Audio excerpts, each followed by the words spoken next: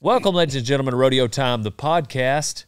This is a very special uh, episode where we've got Mr. Harry Anderson. Doctor.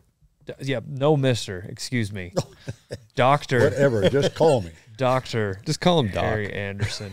yes, the doc, the doc of uh, of feeding. He um, famous for Total Equine. Uh, that's kind of where it started, but Total Feeds has feed for everything. Total Equine. I was feeding Total Equine to Boone. Uh, this yeah, this is one story that we didn't tell in the podcast, but um, yeah, so Boone and I I moved to this area. I live in this area because of all the wheat pasture cattle, and I had three horses. I was helping uh, my brother-in-law doctor wheat pasture calves. I had three horses. Uh, one of them crippled, farrier, hot hot nail, whatever. Um, and uh, so I was down to two. You know, and some of those days were really long, and you would need two horses for the day, or or even just the next day. You you definitely got to swap them out. So it was Boone and a young horse named Ball, and uh, Boone could not at the time he was you know 15, and he could not help me doctor more than like three head of calves a day. Of course, you know it takes me six loops per calf. So that's I got to chase three calves six times each, 18 chase downs, and he's done. You know, um, so I but but seriously, he was like he was acting old, and I knew that you know there's horses in their 20s at the NFR. Yeah. I'd been on a I'd been on a 29 year old in the bareback riding, uh, Python of Stace Smith's. So, anyways, I knew that horses could perform at an older age. Boone was not. And so I started doing some research and um, I can't remember. It'd be neat if I remembered like the first way I heard about Total Equine. I think it just might have been around the time you guys were really kicking off your marketing. Yeah. Probably due to the hard work that Corey Anderson, their marketer, lead marketer, does. Yeah, it was actually Sadie that brought us together. But I'm saying, no, no, no, before Oh, the just me feeding it, yeah, because you told me where me I heard you, about it. You told me you did research and you came across our feed, but I didn't. Right. Because yeah, my younger horse. Ball, like he was one of those horses. He was young enough, athletic enough. I mean, you could throw cardboard out there and he was going to go 90 miles an hour. You know, he was just, uh, you could feed him anything. So, but Boone was not that way. So I found Total Equine, fed it to him, and he turned a flip. Um, not literally, thankfully, but he, uh, yeah, a couple days later, it's just like I'm on a new horse. And um, I was able to, he was able to be helpful in the string. And um, it, it was a pretty neat experiment that I got to got to use on Boone. Now he'll turn 22 in uh, two weeks. We still use him. He's helped uh, teach a lot of interns how to ride. We, I picked up on him, you know, I pick up on him every week, and um, yeah, great. It just it just turned to flip. And then I've got an older horse that's been crippled since I was a kid named Dollar, and he is a tank Yeah, he's big. he um he doesn't winter well so like as winter Yeah. was coming on jordan uh my um she's in charge of feeding she uh started feeding him just a little extra maybe like just a few extra pounds of total equine but his his pin is like behind the round pin and so I I didn't see him for you know i mean i would glance at him but i didn't really Right. take and i went around the corner the other day and this dude he's the biggest horse we have like he looks Yeah. like a bucking horse Yeah. did I send you those pictures? Yes. Yeah. Oh my gosh. So anyhow, I'm I'm absolutely a fan of the product. Um, I don't believe in endorsing something that you aren't a fan of. So that's what kind of all my my sponsors, the few that I have, that's how that goes. But uh, this podcast with Dr. Anderson um, is uh, we talk about the feedlot, we talk about nutrition, we talk about his story in getting started with Total Feeds. So um, yeah, I hope you enjoy it. If you feed animals, this is of interest to you, um, or if you just are a fan of, you know, the American dream and want to hear a story of a family that came up with it, came up with and and lived out the American dream. I mean, From a one room farmhouse on the prairie. one room farmhouse on the prairie. Did it have dirt floors? No, no, it, it had it literally had a wooden floor. Gotcha. But it was just one room. But a grandmother that was born and raised in a sod hut in North Yeah. Dakota. Sod. That's, hut. yeah, so it was a big step up. Yeah. Right. It was big time. Oh yeah. There was yeah, wood. wooden walls around it. It Love wasn't it. dirt. Love it. wow. You know, these days they call those studio apartments. Yep. And you, and you got to pay extra. yeah. It's kind of the vintage throwback of kind of the like my Airbnb. Airbnb, uh, my, my the Dale. B and B out in front of the warehouse. It's here in Newcastle, Texas. Plug. Look us up on on Airbnb. But yeah, it's a it's a studio apartment. And, That's too bad. I that thing still wasn't around. I put it in the backyard and rented it out. Yeah, there you go. and then you charge Some, extra. some hipster. Yeah. Kind of got the industrial feel to it. Yeah. Well, thanks for enjoying this episode of Rodeo Time, the podcast. Now on to the stories.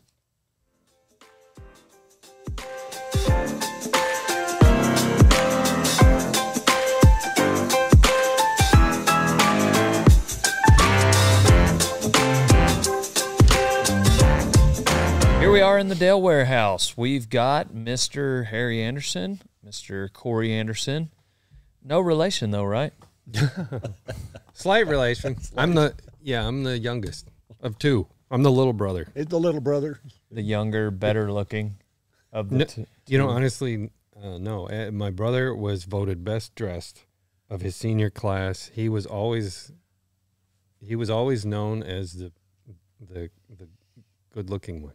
Okay. But, uh, Dale, he yeah, he, he's he's right. Uh, He's right. he's, he's always no no about about the good looking, but about his uh, impeccable dressing.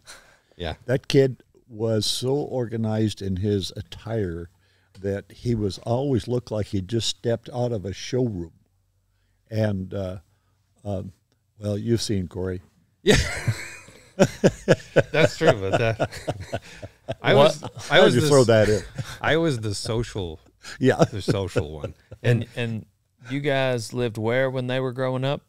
I lived. We started out in uh, Laramie, Wyoming, when till he was uh, four years old. Eric was eight years old. We moved to Liberal, Kansas, of all places on the face of this earth, and then we uh, moved back to Jamestown, North Dakota, near our home country, just 80 miles from Margaret, where Margaret and I grew up, and then we moved back to Kansas to Garden City, Kansas and uh, they were he was in middle school at that time and eric was just graduating so we moved down here without any kids Military family? A lot of moving. no no Oh yeah, no, you got to hear the story. It's true. There's a lot of moving, but opportunity yeah. Feedlots? Feedlot well uh, yes and no Why, uh, don't you- why don't you start with with the Okay. farm in, in well? I, I grew up in northern San, northern north dakota right in the center of uh, northern north dakota about 60 miles from the canadian border and uh, it was on an old mcdonald's farm we had dairy cows, beef cows, hogs, chickens, turkeys, da da da. da.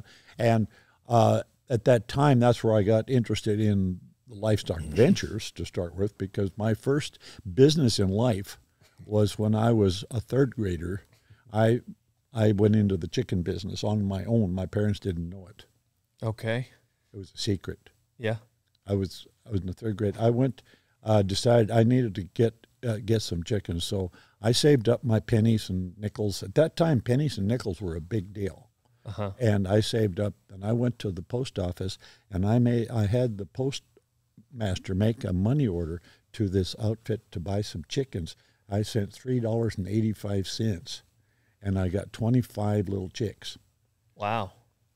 one afternoon, I walked in the house after school, and I heard this cheap chipping, and my parents said, uh, "Do you know anything about this?" And I was in the chicken business, so that was my my first venture of animal business. And then I later in life I went into the chicken business big time. I bought 500 baby chicks one summer when I was uh, like 12 or 13, and uh, uh, stole grain out of my dad's my parents' granary to feed them. So it didn't cost me anything. he also slept in the granary. Yes, I did. In summertime, they put out me out of the house because I didn't have a bedroom, so that I, I would sleep in the granary in the summertime or in a in an old uh, one room house that I've been born in, but they moved out of. I was born in a one room house on the prairie, Wow.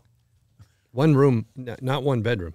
one room. There's one. It's one. You open the door, and that's the house. Dang. Everybody had to get along. Yeah. I didn't. I didn't know it because they moved out when I was two years old. I'm not sure. How they many got along. siblings? Just one, one year older. I was the baby, and uh, so there were. They had two two babies in a one room house for a while. Wow. And it, but it was um, it was we were born in the middle of uh, World War II, so nobody thought anything of it. It, it was just the way it was, and uh, so as as time went on, I um, I did get into some other livestock ventures. I had a, a dairy cow and and uh, we I raised some other things too, sheep and uh, but that's how it got started. And then uh, when I went to college, I was going to be a uh, chemical engineer. I went to the University of North Dakota, and Because that- because you were a really good student, right? uh, well, they had to let me in because I was a state resident. Uh, It was a technicality. They let him. down. and that lasted for one semester, and I figured out um, they didn't want me in that field. Uh, I went in that field because that was the highest paying job coming out of school at that time. I thought, well, I'll just go for the big bucks. Doesn't Yeah. matter what it is. Uh, so I, I went into psychology, and that lasted one and a half semesters, and and um, that field scared me to death. So at that time, it was when the hippies were just getting lively, and uh, and the professors were hippie types. So I, I so I quit that, and I was going to be an accountant. and during this time, the University of North Dakota, uh, great my plan, grades were so low that uh, they, they wanted me to leave. but so I had to have one semester to get Like we can't kick you out, but if if you were to leave voluntarily, we will pack your bags and They- lock the door they were about to get rid of me, but um, we uh, uh, I had to get my grades up to a C, and then I could transfer. So I transferred to North Dakota State University, which is the land grant college up there, and they had the animal science division, and, and so I went there and started into animal science and fell in love with that, and from then on, that's all I thought about was uh, nutrition because the nutrition courses I got an A in every nutrition course I took at at that school, and uh, I thought this is easy. All I need to do is get past uh, uh, chemistry, but I had the great opportunity to take a couple of those courses twice. you learn more, way more the second time. Yeah. So let's Imagine. let's go back. So you stumbled on chemistry, but you you went to college with the intention of being a chemical engineer because that was your strong suit. Well, I, I didn't have any problem with chemistry in high school, but that's not real difficult. 'cause- Yeah. But in high school, I I uh, ended up graduating in the bottom third of a class of fourteen. Probably voted the least likely to succeed if they would have done that voting. My Margaret always says that that I'm sure he would have been. yeah. That's my mom. Yeah, she was there too. She Yeah. she was uh, in one one grade behind me in, in school, but uh, so it it was um, I don't know not a planned path if you want to put it that way. Everything became accidental because even at uh, North Dakota State, I uh, I the first couple uh, the first year I struggled pretty hard because I was working forty hours a week in hog barn. That's how I went to school. Seventy five cents an hour and uh, went to school. Uh, but but that got up to a dollar and a quarter before I graduated. I thought it was big time. But uh, my first year was quite a struggle. I didn't do well. At the end of my first year, I got married. From then on, for some reason, it was straight A. I never have figured that out. What that how that happened. Yeah, if you there was a stimulus there. you met my mother, you can figure that Yeah. out real quick. But but uh, so uh, but then uh, when I was getting done with school, uh, uh, I had good grades by that time, and I had a background, and I got to looking around at jobs, and boy, there was nothing that sounded interesting to me. I could have been a bank rep. I could have been an assistant county agent or something like that. Nothing wrong with that. But that just wasn't my cup of tea. And one day I was standing in the hallway at um, in the animal science office, and one of the graduate students that I was visiting with, he said, "Do you see that on the bulletin board?" And I said, "See what?" He said, "Look at that." He said, "South Dakota State, there's a there's a fellowship available for um, uh, thirty two hundred dollars a year to go to graduate school in nutrition." I said, "Okay," um, but I wrote a letter to them, and for some reason I wrote right back and said, "Can you come?" So I, without planning, took. Um, well, at, we had one one child at the end of my bachelor's. That was Eric, and so I packed him and Margaret up, and we went to South Dakota State, and I spent four years there getting a PhD in in uh, swine nutrition, actually, but also a minor in physiology and a minor in biochemistry, and took a bunch of uh, pharmacology courses along the way. I never would take a PUD course, you know, elective course. My electives were something like an extra chemistry course or something like that. I fell in love with studying, and the rest is history. I got out um, uh, with uh, without any job. At that time, there were 65 applicants for every job for a PhD. and, and so finally, I had, I had a friend that went ahead of me, graduated and went ahead of me to the University of Wyoming and was on staff there. And he called and said, Hey, there's an opening out here. You better apply. So I ended up being a livestock specialist in the state of Wyoming, general livestock specialist, and with an emphasis in dairy. I was a swine nutritionist. But nonetheless, I went out there and I've worked with all, all species for about three years. And then uh, Purina came along and offered me a job as a feedlot consultant. I'd never heard of a feedlot. See, all these things kind of happened ahead of me, and, and I didn't know what was coming. And so they, they said, if you want to be a feedlot nutritionist, uh, you know, come and apply. So I did, got the job, and they sent me out to the feed yard uh, to Western Kansas. You've seen those. I'd never seen one. I did not know really how they operated, but I was a feedlot specialist. Yeah, but that's that's probably you knew a lot about nutrition. Yes. So that's probably the best way to do it because I feel like it would be better to have someone like yourself in there, you know, designing nutrition rather than someone who thinks they know a lot about feedlots because they'd been on a processing crew for six months in the summertime mm. as a 14 year old kid, you know, which is my, like that was. that sounds like your resume. Whenever I'm having a bad day, I think about um, working for, I don't want to say his name, but there was, you know, it, it was a guy in feedlot and, well, I mean, it's it's not a bad thing. I guess I could say his name. It it was just a crummy job for me. You know, he was a good boss, but uh, the point is, is like it was graveyard shift of uh, of working a um, processing crew. So not even getting to be horseback. But I couldn't drive. I was like 14 years old. And uh, we went there. My brother and sister and I, they were in a bind for getting some. Uh, um, they just had a big load of cattle. I guess I think he had had a crew quit. I later found out why. Um, they, he had a and and so my old man being the ag teacher, they call, hey, do y'all have anybody? Well, I got these three kids, you know, and uh, so we go and work, you know, a couple nights, and um, and then I stayed and continued to work as a 14 year old in this feed lot, and it got to where I mean, this guy was he was a worker.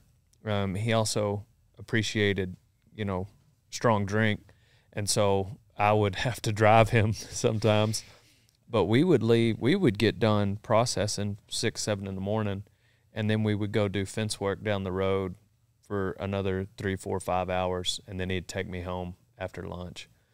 And um, yeah, I rem- I remember uh, doing the math. We were in his truck, and he was got his, and he was trying to write me a check, and he uh, he couldn't get the math right, and so I had to like do the math for him on how many hours I was. so I had to drive him there, and he just he, he not only was in the right state of mind to drive, but he also had a hard time writing a check. so I had to do the math for him, and it wasn't long after that that my old man was like, "Why don't you just not go to work?" Anymore. but anyway, It's uh, a tough thing for a father to say to a son. right especially you know like a son who's wanting to work you know and it's manual labor And but he threw you to this wolf. i didn't real like i mean i'm 14 years old and i get i get i pull up after an 18 hour day at 14 years old and uh, i just thought it was the i thought that's what you did i thought that's what you know um, we didn't work 18 This is real days. grown up stuff. That's what I, but I. I didn't even think it was like. Now looking back, I'm like, what the hell were you doing? You know, like you should be playing football. You should be. Now I didn't do that forever. That job wasn't. It was. It was short lived. I bet it was. However, like looking back, it's like it gives me perspective on other things. Like I Oh, yeah. remember vividly sitting in the front yard and this this man trying to write a check, and I had to take it. You know, we didn't have calculators on our phones then, but I had to do the math. I had to write it out, you know, and write the check for him, and then get out of the driver's seat and go inside and uh, write the check for me. I let him sign it. But anyhow, my my experience in the feedlot was uh, was maybe one of the worst jobs that I think you can make processing fun if you have the right kind of boss and attitude and what what have you. But I I, I grown I, I grew to appreciate it later in life. You know, um, whenever we in later in high school, we did an event called the Commercial Steers Okay, yes. at stock shows. If you frequent my podcast, you've heard me talk about it, but I'm a pretty large advocate. You don't halter break them. It recreates a feedlot scenario. And at Houston, it's a pin of three. At San Antonio, it's a pin of two. In Amarillo, it's a pin of three. And you do a record book. Um, when you get there, you're graded on four things. Number one is the performance of the cattle, which that's 25% of your overall score. A written test is 25%. A record book is 25%. And then Houston, it's an oral interview. San Antonio, it's a speech. Amarillo, it's an oral interview. That's 25%. So it's four things. 75% is based on your knowledge of the industry That's great. through the written test, the oral interview, and the record book. But you're they're graded the cattle performance is, is gained, right? Um, it's everything efficiency. Okay. Um, so like, um, yeah, like each little line line item in your record book, Mhm. cost to gain, um, feed conversion, average daily gain. They'll actually grade. My sister just did it, and um, at Houston, Right. four percent of the steers there graded prime, and two out of three of her daughters were were prime, and um, big fourteen hundred fifty pound steers. Oh, I bet. Oh man, I, I need to show you the video. But essentially, like, but at the end of the day, that's only twenty five percent of the score. Mhm. The other seventy five percent is based on that person's knowledge of the industry. Whatever. The point is, all through high school, my dad was a whiz at this program, and so I got to learn a lot about the feedlot Oh, I bet. industry. I, felt like a lot more so than someone who might just halter break a ten thousand dollar show calf. um, but we would get docked. You couldn't spend that much on a calf in the commercial steers because you would get docked because it's not realistic. You no. know? Sure. Anyway, Oh, he um, can talk all day about that. And, I- and and honestly, that's you know, that's really how Total Feeds is run too, because we still have that mentality. Oh yeah, we we still. Uh, I've I spent 35 years as a feedlot consultant, walking through feedlot pens seven days a week, telling them what to do, da, da, you know, and what to change, and and uh, being graded on feed efficiency. so Yeah. was it was it always strictly like just the was on the nutrition side, or did you like were you like bunk reading and um, No, I didn't know. I didn't do the bunk reading. I see. I would just uh, con- contract or went well before I, I went private. Uh, the first years I worked for Purina, and, and I would uh, go to a feed yard, look over the records, and check the mill, and and tell them you know what they're doing right and wrong at that time, and come back a month. Make sure later. the actual ration right, is where it and then I be. would formulate the rations or change the ration if I needed to, and and at that time I got up to where I was probably uh, consulting with about 500, 600,000 head of cattle at, at any given day. and then uh, we uh, we we uh, left that feedlot business for a while and went to North Dakota as I, I worked as a district manager or sales rep for Purina, Mm. which was probably my best training that I had. along the completely different job than Oh, nutritionist. totally. Oh, he, Just the only common denominator is that you are Who wrote selling the check. feed. right. and, Right. And he he jumped in with both feet. And I'll tell you, I still tell people when I'm on the road, he's this is a head of sales. Did they did they hire you for that job because they needed someone for that job or they felt like your skills It was simply an opening that uh, I was well. Three years on my first go round in the feedlot business just about burned me out. I, I was at the end of my rope. I was physically, mentally wore out, and they saw that, and they said, "Hey, we've got this little district in North Dakota that's open up, and you might be interested in going going there. It's going to be four counties that no 11 counties that you'll work in and that 11 counties nothing you know i can buzz around that get all over in one day so i go up and the first year went well the second year went better and the third year they gave me 52 counties dang. Congratulations. yeah You're not going home again. my pay didn't go up but i got 52 counties to have an opportunity and i was working all the way from almost from grand forks north dakota to um, rapid city south dakota living in the center kind of and um, eh, about four years later it got burned out so i just about did go down i was in the hospital and everything else and uh, they said uh, the person that replaced you in kansas as a feedlot consultant quit would you like to go back so, so back i go and so we go back to garden city Kansas. Let's see, steady paycheck. Uh, no Yeah. more six foot snow drifts to walk through. Uh, Well, at that time, North Dakota was also in a total economic loss. They were at the bottom of the, the last area in the country to go through a recession at that time, and there was no money in North Dakota, and they No quit buying jobs. feed. yeah, it was terrible. Yeah, and so I go back, and uh,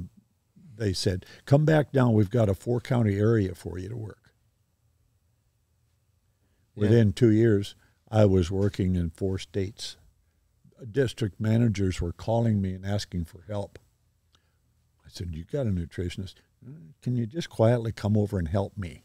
And so I was working several different areas for them, and uh, there again, it was getting to be an awful lot of work. But I was I was working with uh, probably seven, eight hundred thousand head of cattle, seven days a week.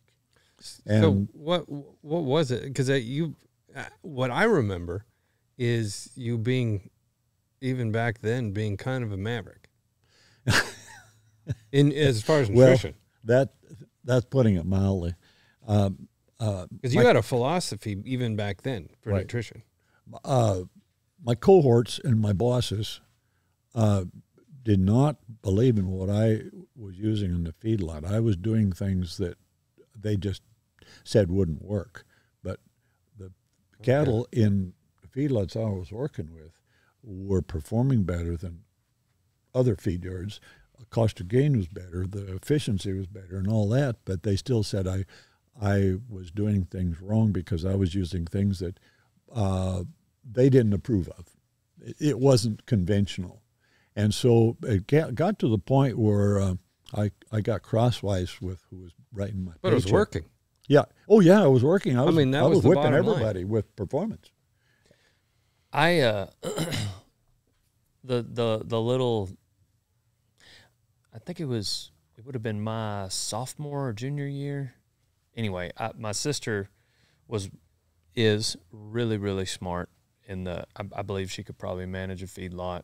Um but she uh she was great with commercial steers and um I was really good at waking up early and being like the mule, you know, like I enjoyed that part of it. I enjoyed the the sweat side of it rather than the intellectual side of it.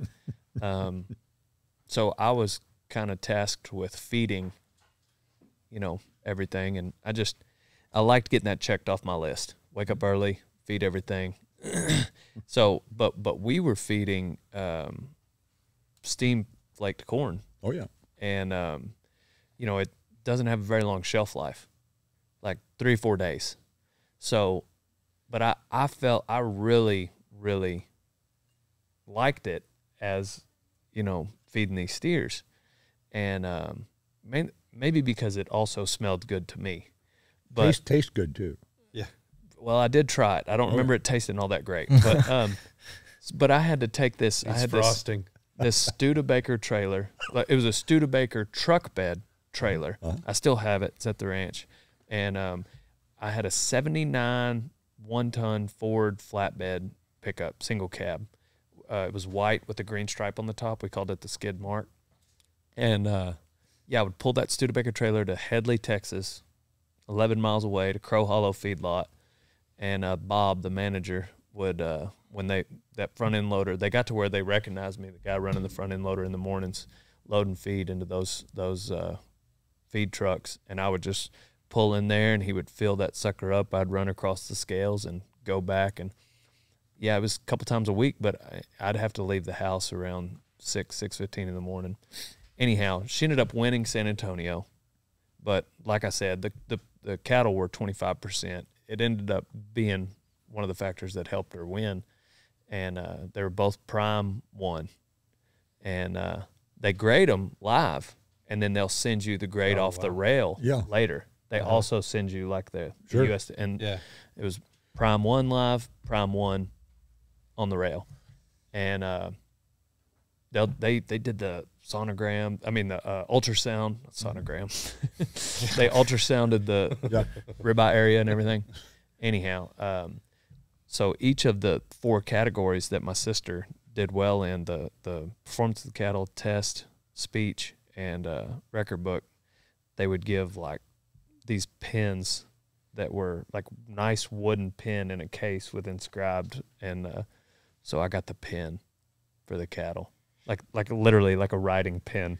That was my But you didn't know how to write. but but it was funny because like like I was blessed with the knowledge that I got to learn throughout. Did not do well, you know, probably like Give middle at the middle of the pack at best. give the wooden pen to the grunt. My dad was mad at me because I I'd forgotten my um my jacket like a blazer Yeah. and a tie. Like I looked like the feed hand when I was giving giving my speech. But uh, but my sister won, you know, the best performing cattle of the whole show, and so uh, yeah, that you know she she won a scholarship and a buckle and all this, but just for that one that one segment, she got that pin. She handed it to me at the end. that was my reward for feeding out those calves. But I did I came to really um, value like not only what you're feeding, but the consistency in like the time of day, um, like paying attention to, you know, how much you're feeding. You know that three percent rule, three percent of their body weight, and I, I became a fan of it.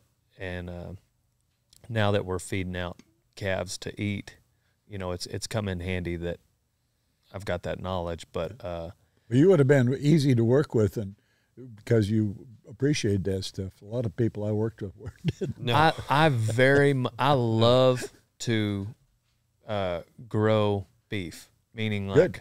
like our, our cow calf operation. Like I'm I I love to. I won't keep them all the way through the stocker phase, but um, here locally at Graham, if you you know they'll do a weaned calf sale, and so at the first Monday of every month they do a weaned calf sale, and so if you have uh, 45 days weaned calves, and so I'll absolutely feed them through that, get a little bit of a premium, and you know we'll make we'll make a little bit more money per head. It it, it doesn't come out to be a huge, but I just love it so much that I, I just my problem is sometimes I'm I call myself a sympathy feeder.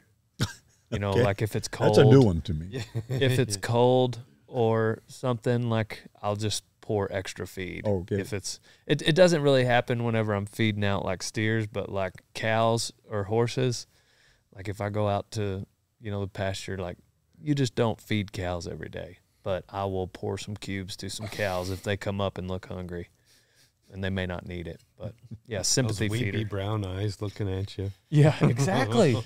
That's why you don't name them. my, my old man would let us name horses, but we do not name Yeah. beef. Yeah. You put a name on it, and So yeah, my mom's dad uh, raised cattle, and he he named them all after the women in the ladies' uh, aid group in the Yeah. church. That didn't go over well. That got embarrassing once in a while. yeah, But he would. My mom would tell stories about she and her friend would go hide in the, uh, you know, in the trees. They had these hedgerows and stuff, and he would be down there singing to the cows. Didn't eat one of them. yeah. All had names. He couldn't couldn't eat them. My uh, Sold them all. I don't remember how my old man got a hold of this like painted up bull that turned into a bottle calf. Um, I think he had like some sale barn ca- uh, cows at one point, but anyhow, this little orphan doggy calf uh, was a paint bull and and ended up being a bottle calf, and my mom called him Wallace, and uh, he uh, he was around the house and just we had like an acre and a half of fence around the house. Hmm you know like there wasn't like a, a, a yard fence that was just you know like a hundred a thousand square feet it was like an acre so like Right. we had a donkey and wallace would walk around in this acre so they might be on the front porch when you come out Right. um, well, Wallace got like eight, nine hundred pounds, thousand pound, you know, big animal. I don't remember vividly, but he was uh, he was just large, and he got to where he would play, but he would play a little too rough, like you know, because he's just he'd come up a bottle calf where they'll nudge it, and he kept that they'll up. knock you down. and they'll kind of knock you Oh, down, yeah. And like you pull up and get out of your vehicle, and it's the dog, the mini donkey, and Wallace standing there. like it's a big animal. Like you're trying to make it to the house, and Wallace wants to play. Well, by the time he's a thousand pounds, that's a little different than a Jack Russell, you know. And so we we had to sell Wallace, and uh, so my dad took Wallace to the sale barn, and uh, he got back, and uh, he said to my mom, mom was like, how, "How did it go?" You know, it's like, "Oh, it was good." You know, he was, you know, gentle went in there, and you know, I'm I'm pretty sure one of those order buyers, like they they bought him as a herd bull. And uh, my mom was like, my mom was like, "Oh, that's good," and kind of looked away. And my dad looked at me and went, and shook his head.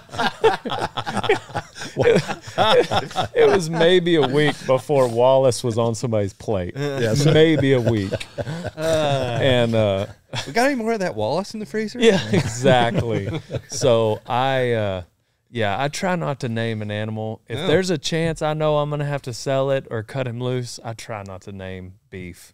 I didn't have that problem. I, I showed, uh, we had Jersey, Jersey cows and I always showed uh, Jersey heifers at 4-H and. And this one, one year, the last one I had actually, she was really a good heifer and, and the judge was very complimentary. He said that, that heifer could go anywhere in the United States and stand well on a show. Well, she uh, became pregnant. She had a calf and we milked her, but she wouldn't breed back. Just wasn't going to breed back. So I poured the grain to her. She tasted really good. We had her for lunch. Yep. Didn't bother me in the least. we had I, uh, Rickle. I had a, a herd bull, and I throw him. In, I mean, they're all bucking bulls. You know, we would buck him, so he runs with bucking bulls. And I had one bucking bull, uh, New Mexico bad boy, and he did get Rickle down, and anyways, dislocated or broke his leg or something. So we had to take him. You know, and it was uh, that was a little. I mean, it was. I did it, but we gave a lot of the meat away. I still have some Rickle. In the Donnie thinks it's hilarious. He'll bring it up. Like we'll be This is Rickle. we'll be eating burgers. Like is this Rickle? Rickle with a pickle. That's right. Well, well, we had another bull when we first started named Dickel, Rickle and Dickel, and uh, Oh, I, I I could have just gone there. I Right. suppose. Yeah, but Dick, Dick Dickel died, and so we just had Rickle. Did you eat him? No, he like died out in the pasture. Ah. Yeah, yeah, it would have been yeah, but um, yeah, we it took us a couple days before we found him, but um, anyhow, What's what are you working on there? yeah, what you got? What you wrote down? well, well, working on I was. I was just going to uh, kind of mention during you know he he said I was a maverick. oh And- yeah, and that's true. nutrition. Uh, Absolutely. but I, I I designed some different things in the feed yard industry that they hadn't done before because I was an outsider. I, I didn't know the convention. I didn't know how you were supposed to do things. So exactly, that was my point Yeah. earlier. and that's been my uh, my best asset as I went through life.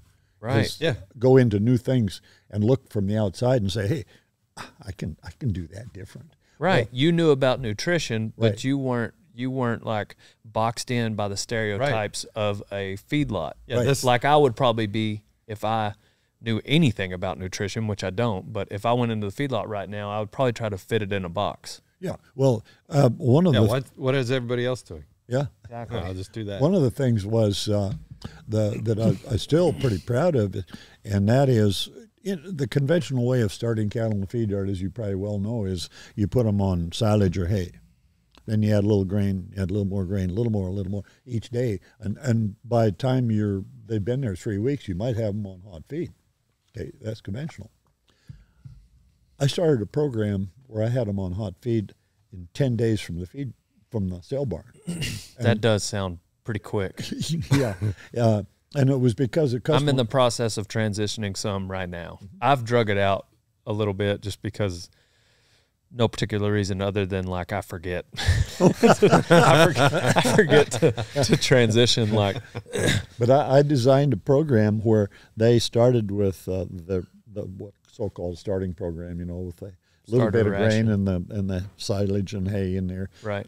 and then start adding uh, more of the finishing ration every day for ten days, and all of a sudden they were on feed, and the, the cattle were fine, didn't know it, no belly aches or anything like that, And- and they said you can't do that, and I had thou- hundreds of thousands of cattle starting that way. Right. So uh, what percentage corn on that on that 10th day of the ration? What, 80, 80. What- plus.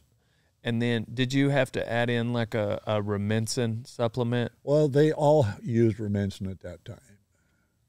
And that's that's another thing that uh, uh, along the way I did some research and helped design some research that got me in serious trouble with some companies. Um, I proved that uh, uh, you could feed cattle with high fat and without Rumensin and get better performance and less digestive problems. I proved that you could use a microbial, uh, daily microbial um, that you put in the diet and um, get better performance with that and less digestive problems than with Rumensin. Guess guess who took after me and tried to put me out of business? Right. I can only imagine. And uh, Maybe a former employer. yeah, no, no, one of the drug companies, Yeah. Uh, the maker of Rumensin. gotcha. They they had a hit a hitman on me, but and I also proved that all of these uh, um, a drug that was commonly used for years and years and years for heat suppression in the feed yard, so the heifers don't cycle, because cycling heifers don't eat well and they don't gain well, all that kind of stuff, injuries. Um, I proved that by feeding high fat in the ration, which I also proved you could feed twice as much fat as what was conventional. And once you did that, you stopped heat cycling, and we didn't need that drug anymore. And that company lost hundreds of thousands of head of cattle on that program because it wasn't needed. But Yeah. This these weren't small changes in the industry. no, But- they're monsters. but he was coming at it, as you pointed out, as a nutritionist. Like, well, what if we what if we modify the diet to make the animal healthier in this environment instead of, you know, there's the standard diet that you have to feed, and the cattle are in this environment, and they're getting sick. So, can you give us a drug that that you know turns that around? Where he was like, well, what, why don't we start with the diet? Yeah, S- change the diet, not put add a drug. And then uh, one of the other things that never never took off, but uh, uh, it was fun to prove it. And that was uh, one of the feed companies later in my career, not long before I was done, came out with a uh, supplement that you could feed with no roughage. It was simply steam flake corn, like you were feeding, and uh, uh, no roughage at all. And this feed yard that I was working for, they came to him, gave him a bunch of feed, and said, "I want you to take this half of your feed yard, which is about ten thousand head, and put them on our program." And the feed yard manager t- said to me, "He said, can you do that without that supplement? Can you make a program like that that I can try on this side of the feed yard, the other half of the feed yard?" I said, "Yeah." So we took all the cattle off roughage in that feed yard, and uh, the cattle that that I had them that I designed the program for beat that feed company, and I didn't have any magic potion in it or anything else. I didn't put anything in it special, uh, and uh, so that that was something that that was never going to be accepted by the feed yard industry. It's too dangerous. So what did what about total feeds? When did that come? Total Feeds came about um, in 2008. No, Yeah, eight, well- 2012. Well, the corporation, but I, I think you need to go back to Precursor. it, what started was was the formula, the original yes.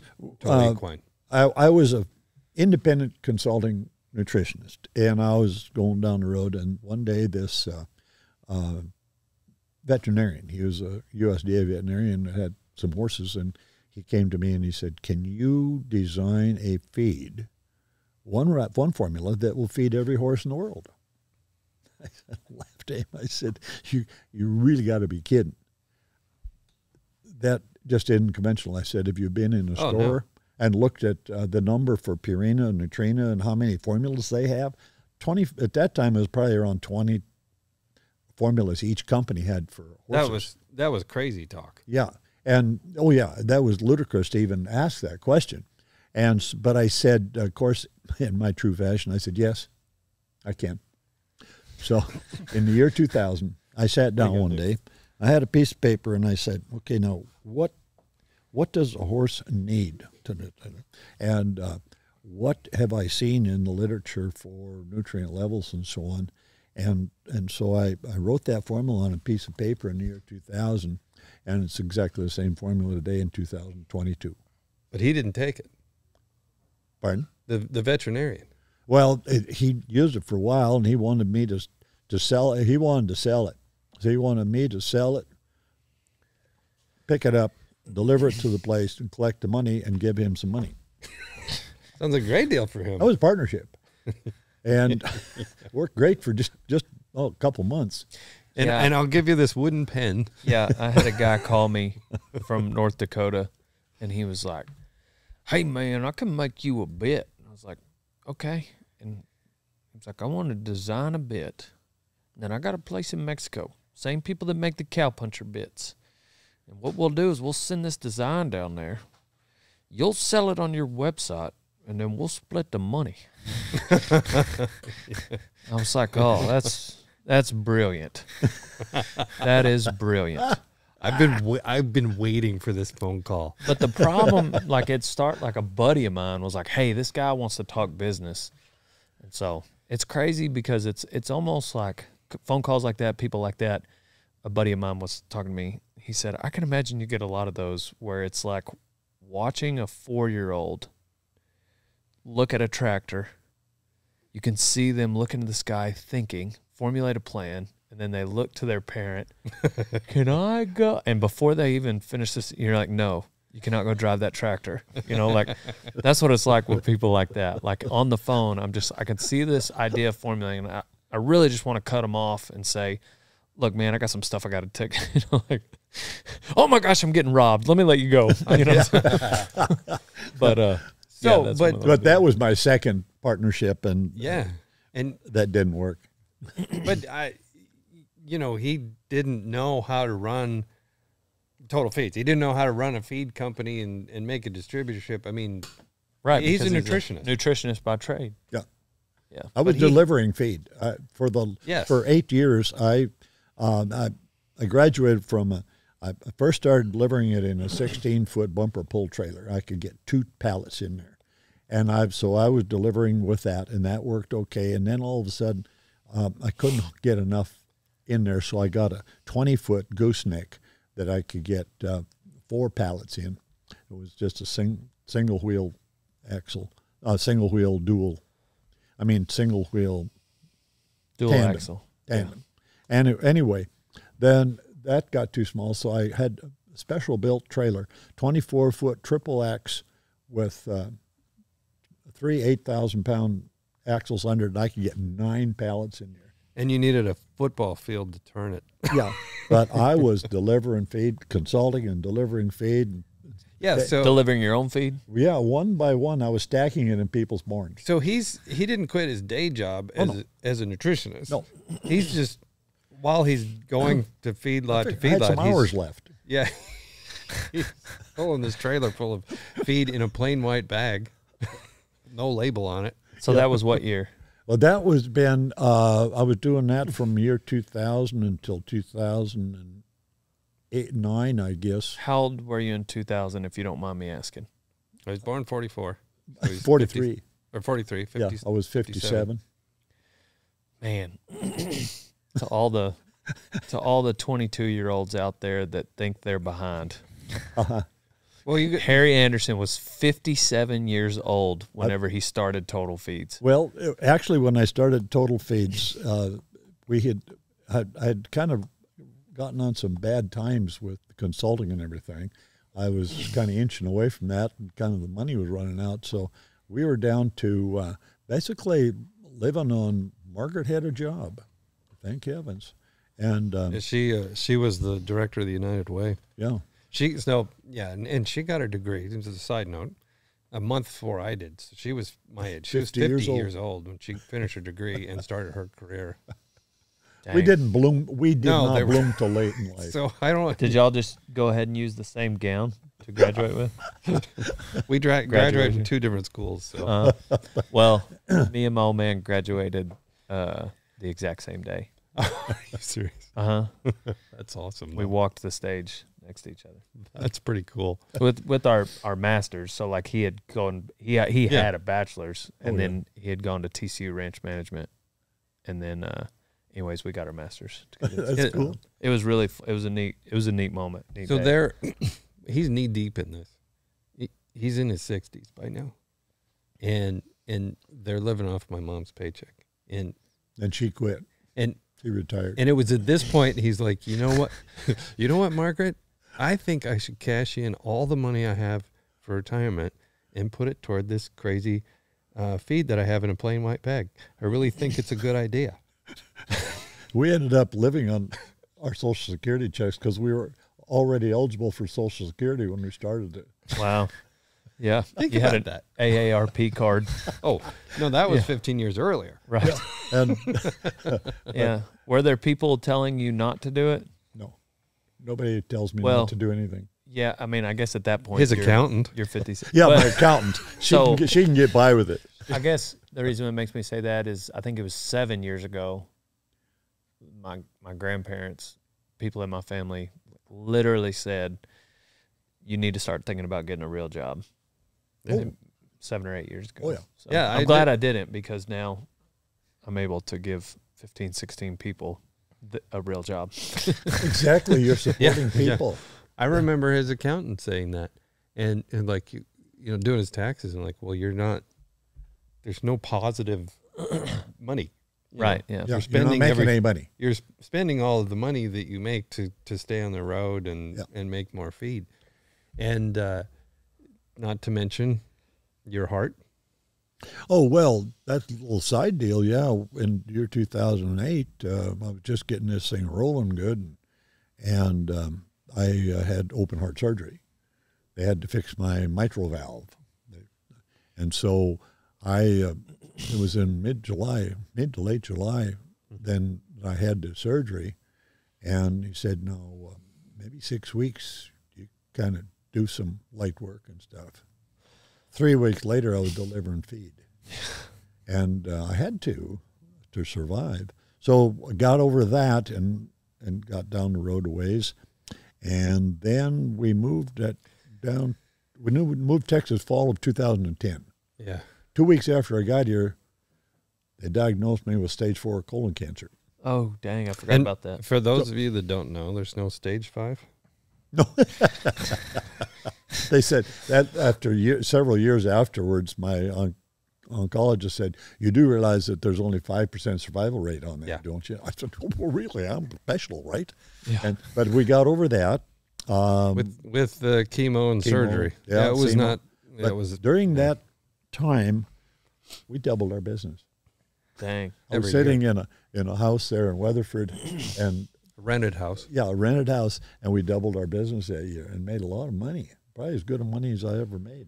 It hasn't been that good since. No, just kidding. But then, then I, uh, I a couple of years later, um, I had to have a um, MitraClip on my heart, and uh, no, that came later. A couple of years later, I had to have a valve replacement. Yeah. So they opened me up and put a new I put a cow valve. He's got a cow valve in there. Yeah.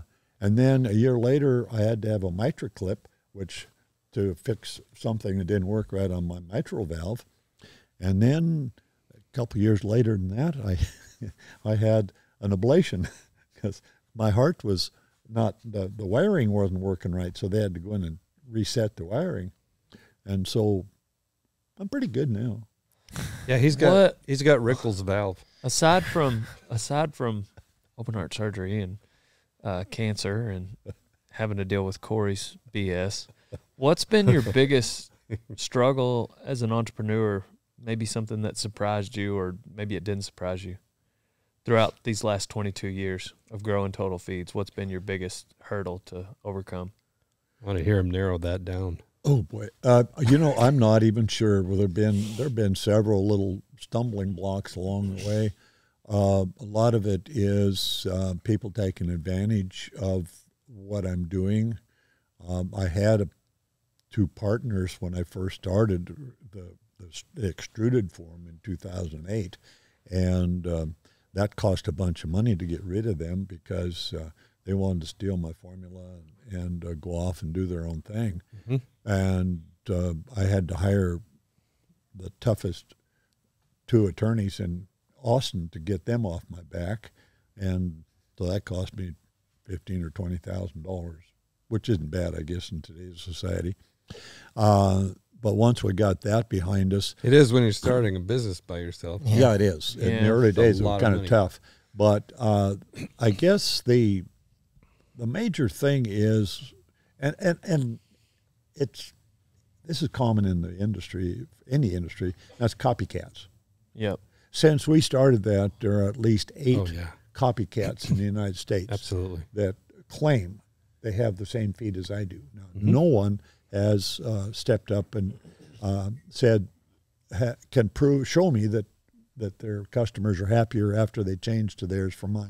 I mean, you can uh, literally. I remember one came out in California. It's literally, you could take our label and their label. They're just it's a photocopy of our label. Yeah. but they still can't get the formula dialed in. but it's the same, you know, They're word for they're word. missing a few things. Is what they're doing. So what's what's next for Total Feeds? What's your next big um, goal or vision, or how do you where do you see Total Feeds in five or ten years? Well, uh, I think we're going to have to work on something and expand the kinds of products we sell.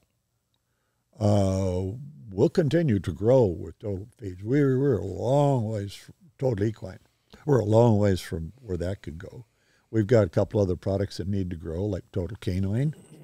Uh, our Total Canine is starting to grow. I just looking at my numbers yesterday that we're up about uh, forty percent this year from what we were last year already.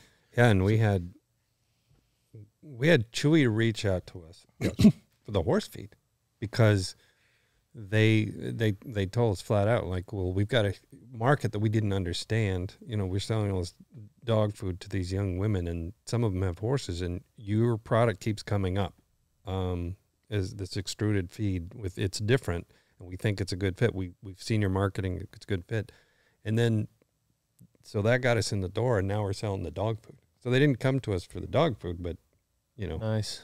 that's how we got the dog That's, food. that's going well in Chewy Yeah, at a very high price, but people are buying it.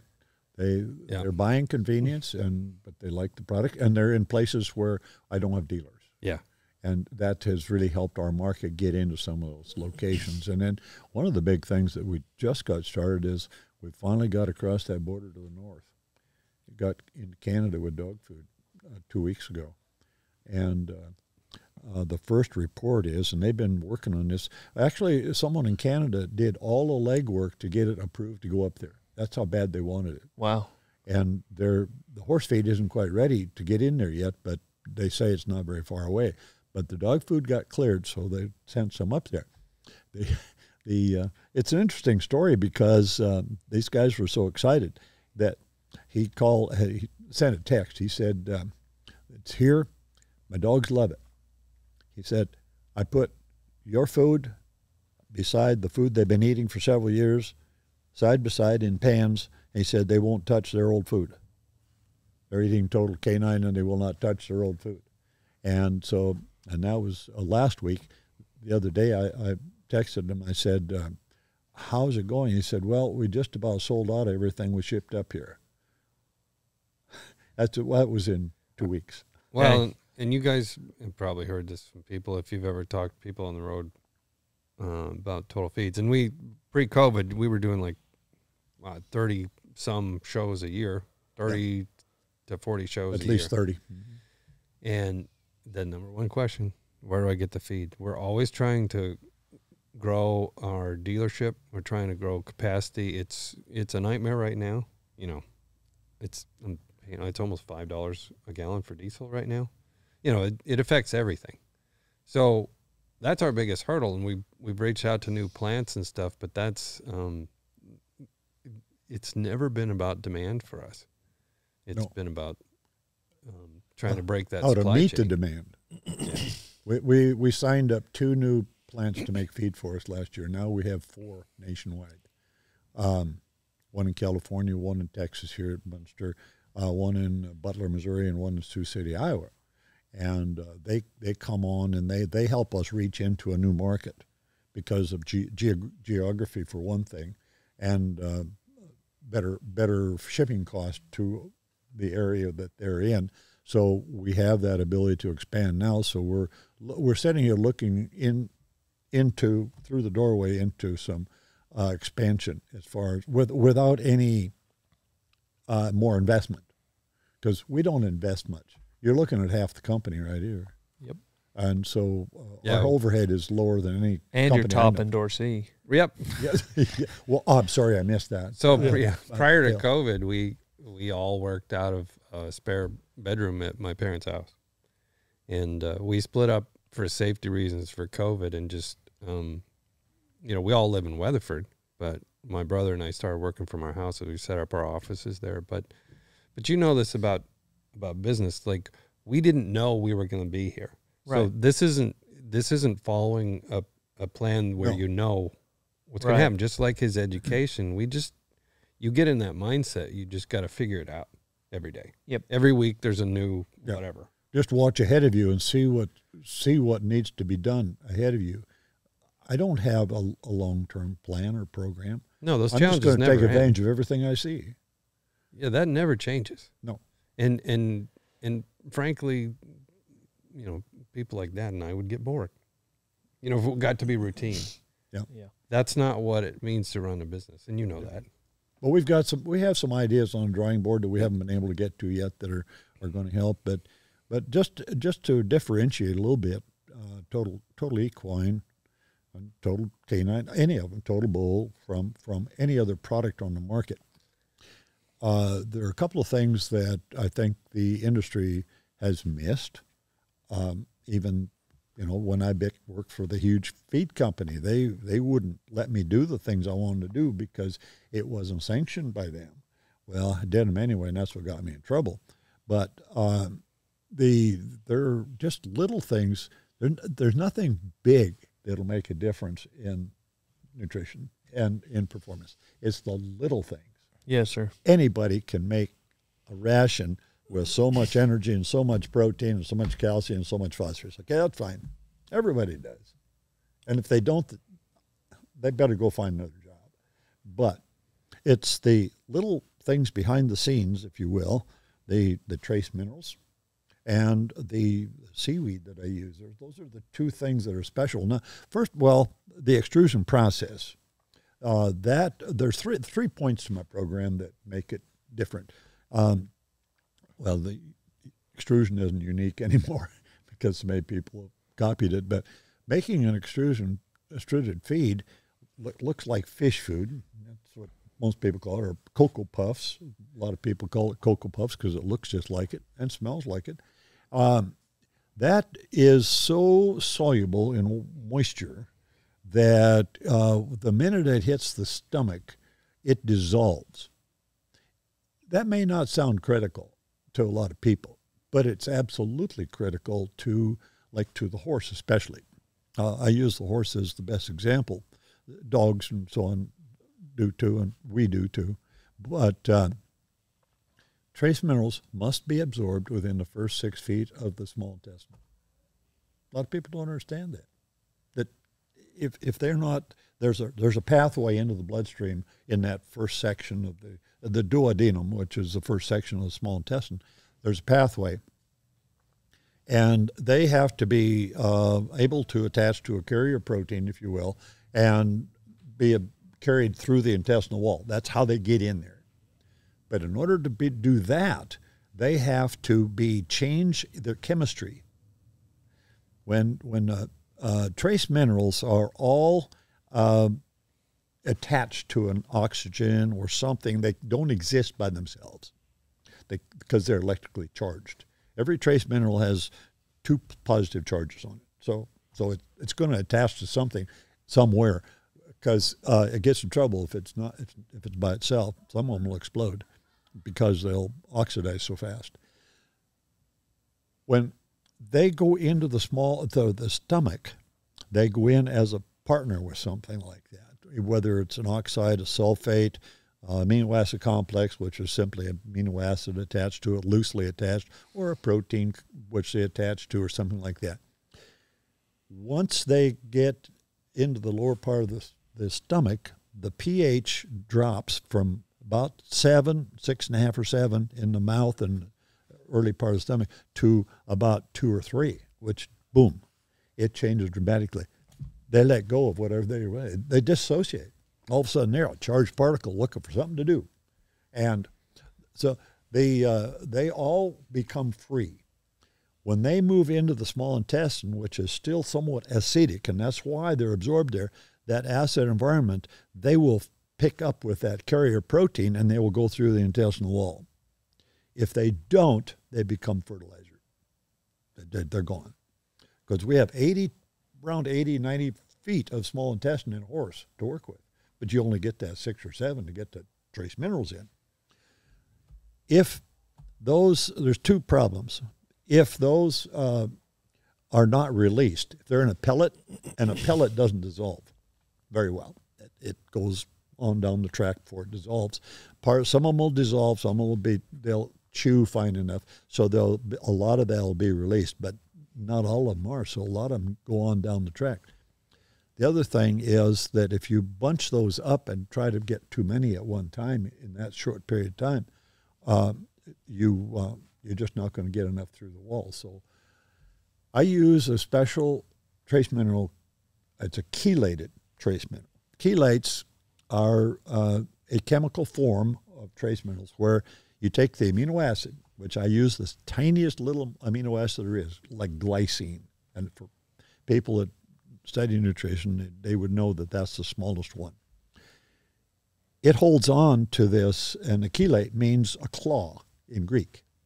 And so this uh, trace mineral, copper, zinc, whatever, hooks on to a this glycine which has two negative charges. So, boom, they're locked up.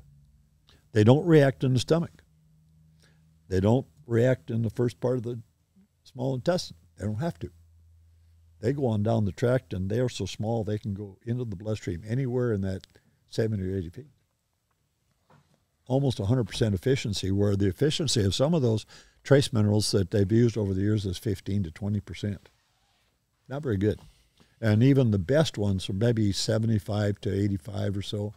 But still, Well, so they ju- the answer there, they just dump more of it in the feed and, and Yes. cross your fingers that it gets in right. there. But they, they, they literally aren't going to get more in Right. because uh, Can't force it through that. no, there's only so much can go through. Yeah. Uh, and if they don't get switched in time, they're not going to go. So that's one thing. Then and then the third leg of the, of my uh, so-called uniqueness is, um, and I've told the public this many times, uh, that it's the seaweed. It's called Ascophyllum nodosum, which is. Can you say that real fast? Ascophyllum Hey, you're good.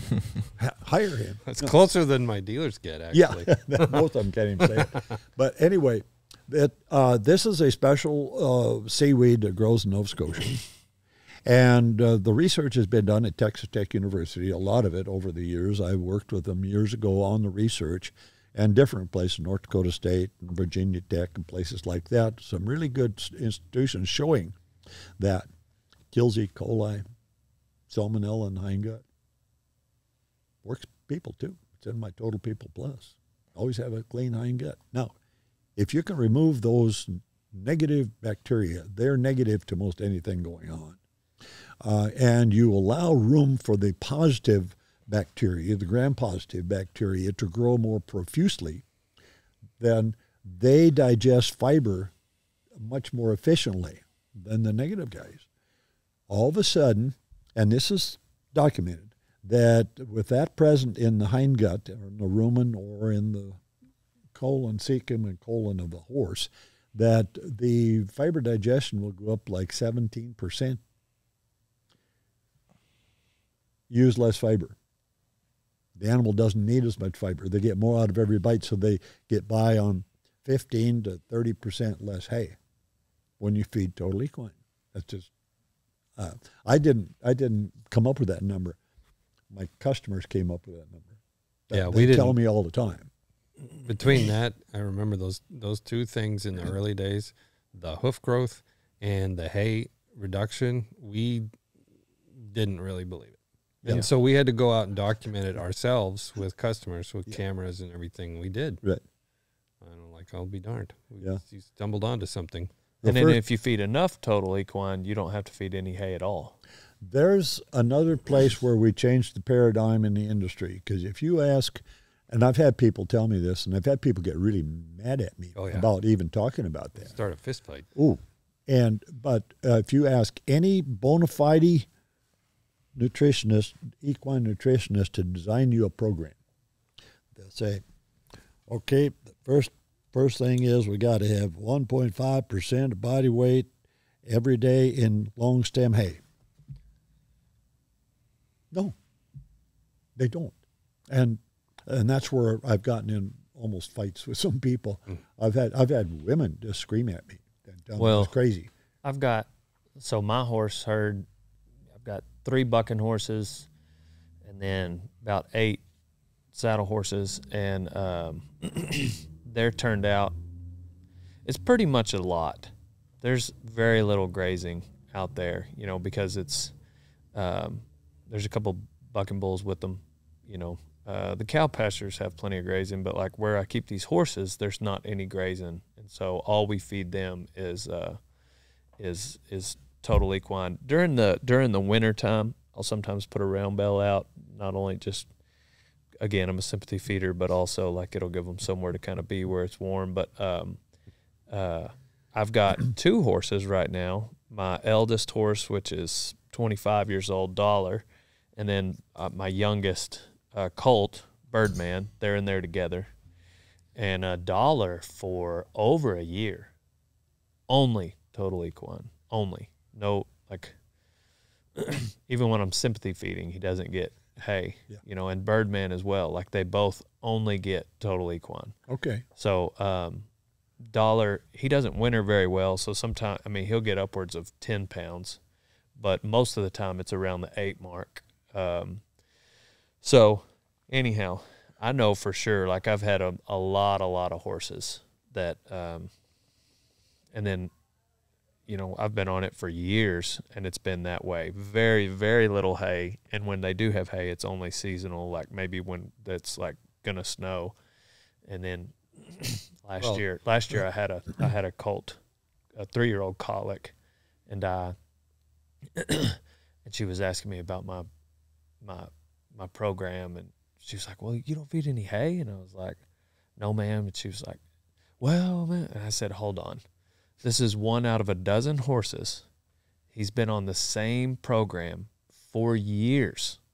Like I've been on Total Feeds for seven years. So you're telling me that? And she was like, no.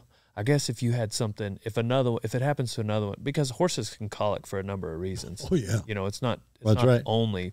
And uh, sure enough, we've never had, you know, over a year, horses on the exact same program have never colicked. But um, it's hard to say why he did that day, you know. But everything else is fine and always has been. So, um, yeah, there's a lot of reasons a horse can can colic, but Oh yeah. Impaction. very very sensitive. impaction. We cannot stop the impaction all the time, and that that's one that gets them in trouble. But um, if, uh, if someone's feeding four pounds a day and hay uh, in the wintertime and they get an impaction colic, the simple solution is forget the hay, free choice total equine for three or four days, and it's it's The other thing is making sure they're getting enough water. key, key point.